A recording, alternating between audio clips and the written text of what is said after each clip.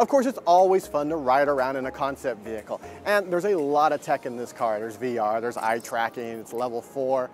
How much of that shows up in an actual Audi in the future? Well, we're not sure yet. But hopefully, we'll see more of this tech in Audis in years to come.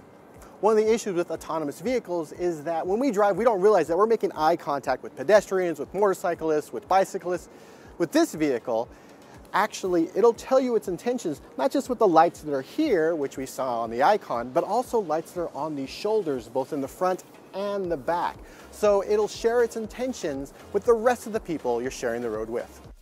In the interior, Audi decided to go for a more lounge look, more of a, a homey feel as opposed to a vehicle feel.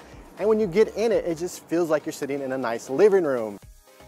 While you're in the car, the steering wheel will retract and it gives you a little desk, which is nice for, you know, doing some work. But you can also put on these VR headsets. And while I was in the car riding around, it was actually pretty interesting. Uh, last year, Audi showed off this game where you were flying around, you were shooting things. This year, I got to fly in a helicopter over these beautiful Chinese landscapes. And it was actually very relaxing. They played some music. It was all, well, nice. In the hustle bustle of CES, it's kind of nice to sit in a car, put a computer on your face, and look at the world. What's interesting is that the infotainment system actually uses eye tracking. While I was in the vehicle, I was able to select a meal, which I selected a snack, which was a donut, just with my eyes. You just sort of stare at one of the three choices you have, and then, well, you get yourself a donut when you finish with the drive.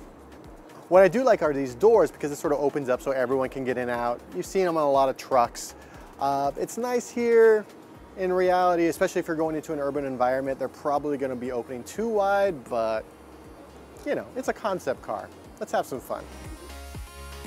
Because this car is built for a dense urban environment, it is small. It's essentially a hot hatch, except instead of all that, you know, hotness being powerful engine and fast suspension, the hotness is the technology and the ability to sort of escape while you're in the worst driving environment.